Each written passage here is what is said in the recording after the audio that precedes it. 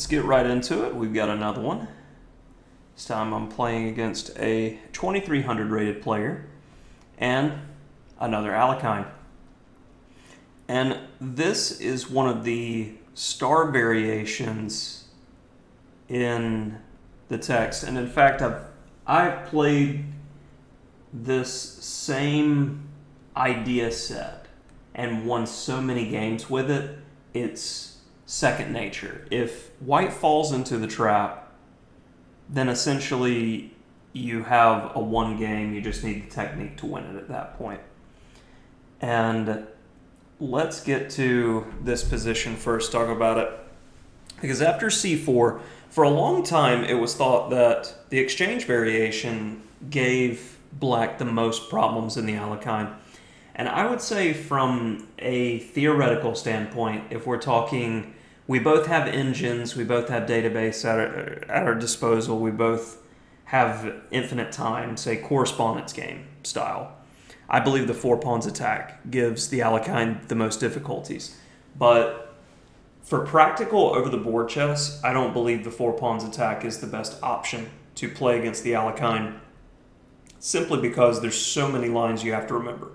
The majority of them are good for white, but when it's a lot of theory, you don't get to play a lot of games with it due to the Alekhine. Like an E4 player, I would say in 10 games, you're going to face the Alekhine once or twice. The majority of the games are going to be E5, Sicilian, French, Caro-Kann. So, four pawns attack, what do I recommend if you're playing white? The classical gets a solid, just tiny little edge. Black gets a lot of pieces kept on the board, some imbalances.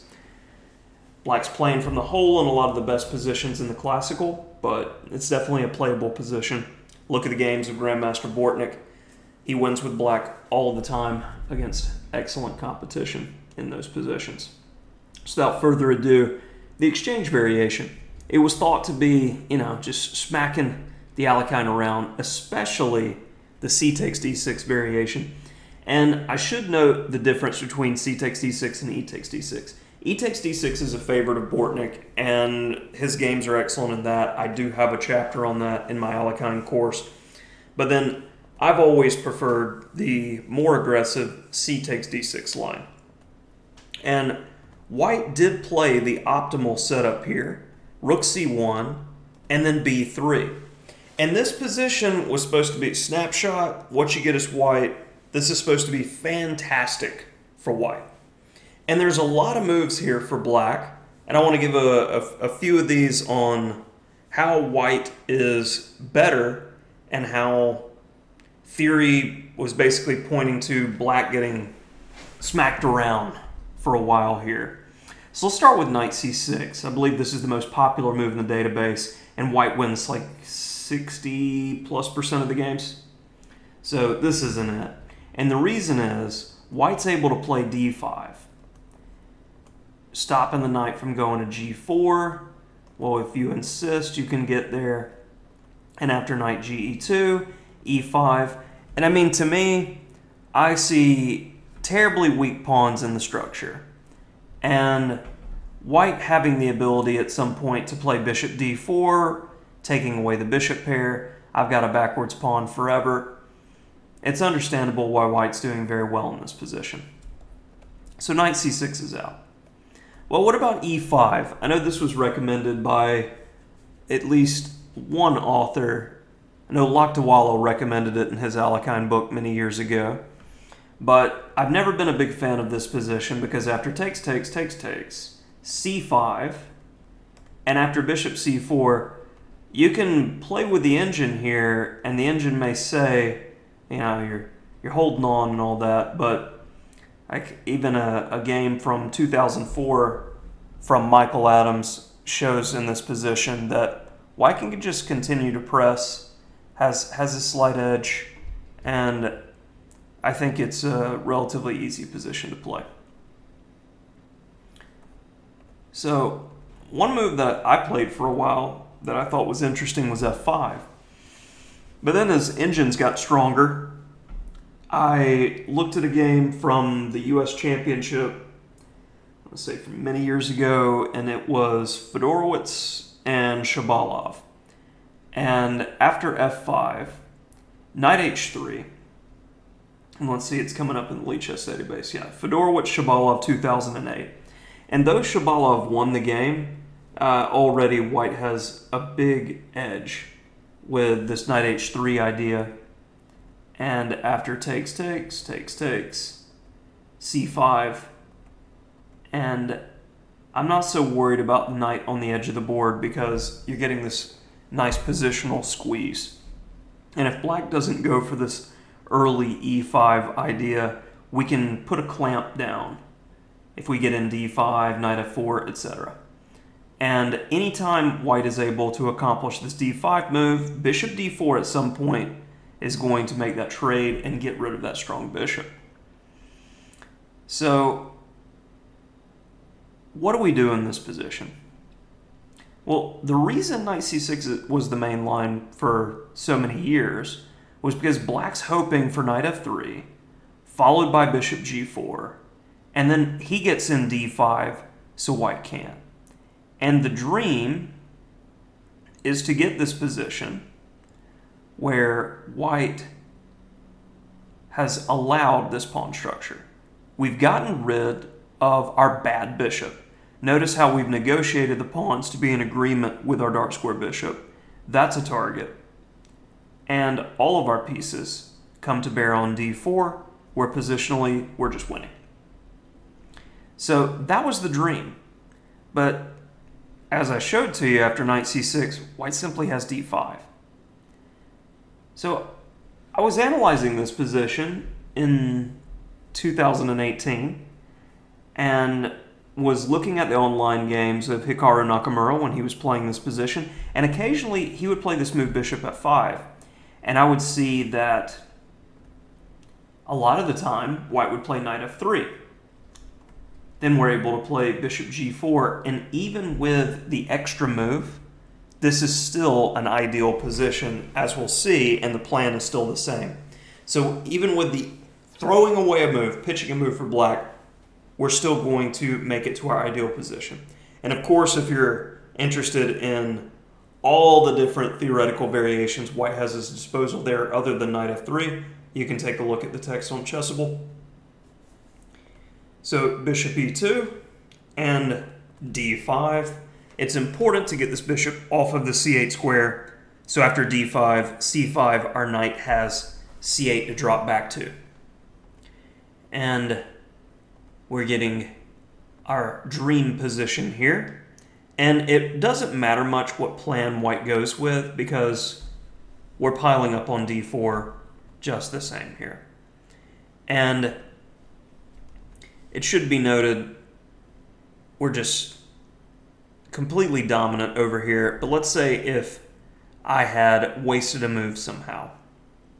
It's still not an issue with this knight going to the edge of the board because we have the c4 square, just as a, a side note. So knight f5, and we see this beautiful harmony of the pieces. And now it's a black to play and push white over the edge a bit here. Hopefully you found queen f6 because there's just too many pieces attacking d4. And my opponent played b5 and we get mass liquidation. So the next step here is we're a pawn up, but it is a bishop of opposite color. Middle game, we still have the queens on the board. So the only thing that could really hurt us is the potential of a pass pawn. But in the long term, especially if we trade bishops, the passer is going to do it for us. So if that is the biggest, if that is the biggest threat with the passer, let's go ahead and focus on corralling the pawn before it can get dangerous. So understandably, my opponent isn't having any of that. He gets his pawn rolling. And notice why I put the queen on f4. One, we do have the potential of playing bishop e5 at some point. And then also our queen is keeping an eye on c7 so this pawn doesn't get too dangerous for us to have to deal with. So I go rook c7, staying flexible. Yeah, no, no real hurry here. Bishop e2 makes a lot of sense because the pawn isn't going to be very easy to push. And this bishop can definitely come to a6 to stop the other rook from coordinating. So bishop e5, just overprotection of the rook on c7, and trying to make some weaknesses in the structure. So queen f5, like I said, just you make some holes, you can work around it. Bishop d6 improves the bishop, keeping an eye on both wings. So, understandably, my opponent goes for that. Check.